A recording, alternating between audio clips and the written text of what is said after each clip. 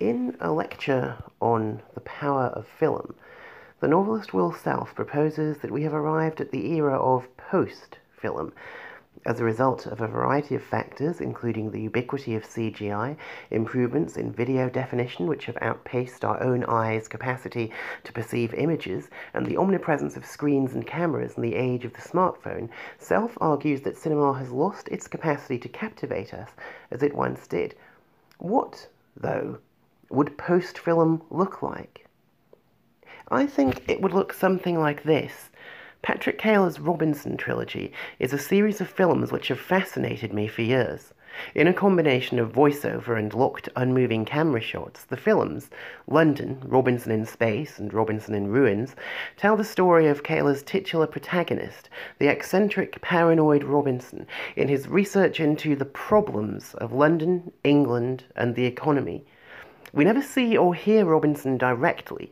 We are told what he says by narrators Paul Scofield in the first two films, Vanessa Redgrave in the third, who also describe to us his activities, from the mundane, drinking coffee and writing in supermarket cafes, hooking up with strangers from the internet while waiting for a bus, to the bizarre and shocking, sabotaging a fighter jet, communing with non human intelligences via park gateposts or lichen on road signs, or trying to discern the molecular basis of current events in the hope of discovering a method by which he might travel in time.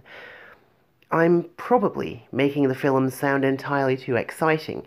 They are, I think, but they are exciting in ways which differ from a lot of cinema as we've known it for most of its history and in ways which make the films much more suited to the ways in which, increasingly, we consume film today. I've never seen any of Keiller's films in the cinema. I don't know how it would feel to see them in the congregational way in which we file into an art house screen to gaze at Barry Lyndon, Stalker, or Solaris, much less how weird it would be to try and watch it in a popcorn and explosions context. The one time I showed London to members of the informal film club I belong to, it didn't go down well at all because people kept talking over it. Not maliciously, I think. It's just that in a group setting, attention seems to somehow slide off the film. But an odd thing happened afterwards. A number of members of the group told me they'd watched it again later, alone, and found it much more interesting.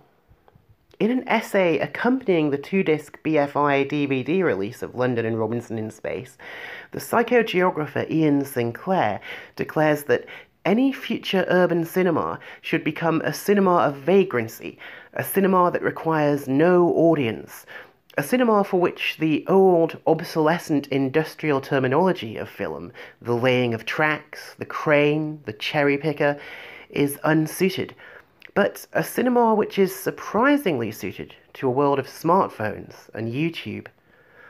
In the second of Shannon Strucci's series of YouTube documentaries on parasocial relationships, it becomes clear that YouTube is, to some extent, entering a period of crisis as the first wave of YouTube celebrities struggle to cope with the paradoxically intimate fame which this medium seems to have created for some.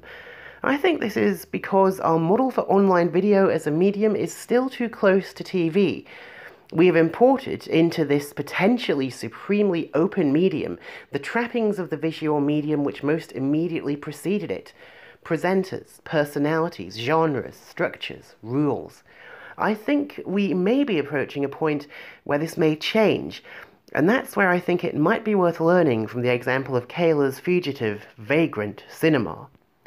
In many of the poetry films I've posted to my channel, I've tried to follow Keiller's practice, but it was only when filming specifically for this video that I realized how demanding it can be to hold the camera in one place, to resist the temptation to pan, to track, to zoom.